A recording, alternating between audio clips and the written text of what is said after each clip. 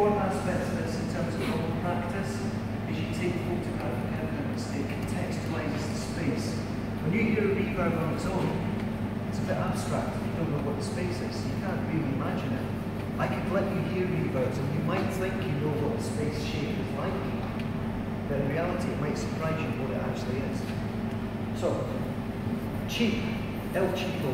We, don't make these anymore, this is about as cheap as uh, mobile recorders you can get.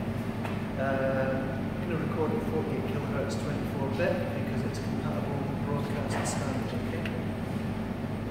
And that is the minimum requirement that's been established by the University of York by, uh, for archiving acoustic impulses. We've got a wee bit of background noise and new images on and stuff. We have to take that into account, but that's one of the things the balloon pop's really good for. It's such an immediate impulse if you do sound sweep, all that background noise you can hear back there, that all gets picked up and it gets deconvolved as well, so it muddies and distorts the signal.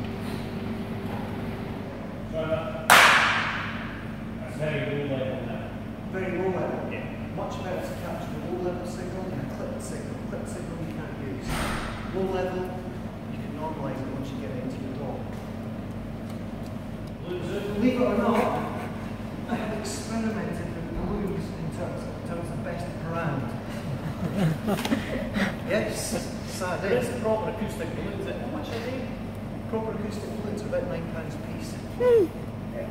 Cheapest ones you can get your hands on. You can buy real acoustic balloons. They are manufactured for acoustic analysis.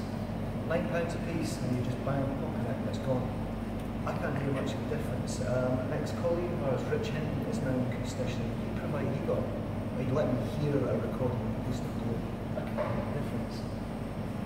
It's so subtle, okay? Paralysed Tesco's own brand. Okay, that's my recommendation.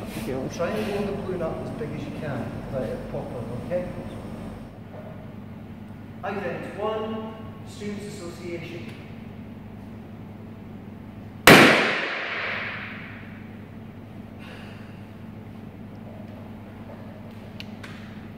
Recording number 2, Students Association.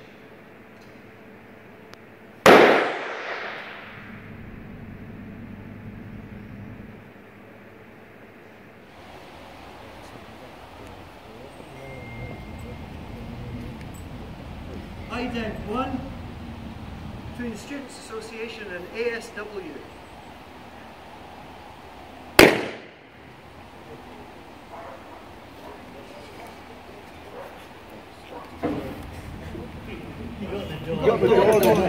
Brilliant. One of the ones I've, I've um, noticed is because a lot of the historic sites that I do, um, I've done all over Scotland now. A lot of them up the east coast of Scotland.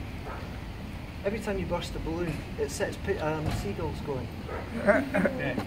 But again, this technique's really forgiving. It's so short that compared to doing a full range sine sweep, which you need a fairly loud speaker system um, for playing back. I've got a thing here. I should just show you. This is a Bluetooth loudspeaker, and it radiates sound 360 degrees. It's Bluetooth. Now, Bluetooth's not a good method for streaming audio. You get a lag, and you do get a little bit of um, breakup of signal over any kind of greater distance than is recommended. Um, but it works if you hardwire it. It's got an auxiliary input. So I can fire a sine sweep through this and get quite an accurate recording, which is cool. What we need to do that as well. See, was recording the guitar or a vocal, and I wanted to capture the space without using impulse response. What we do is, say with the guitar player, you put a close mic on but then you mic them with condensers at the top of the stairs, and then you blend it, and that's your reverb. That's right. So that's another approach you could use to it as well, by using that space. Right, two seconds, minute. Okay, so uh, warning for any in the periphery, we're about to burst the balloon, so apologies. Okay. Ident 1, ASW reception.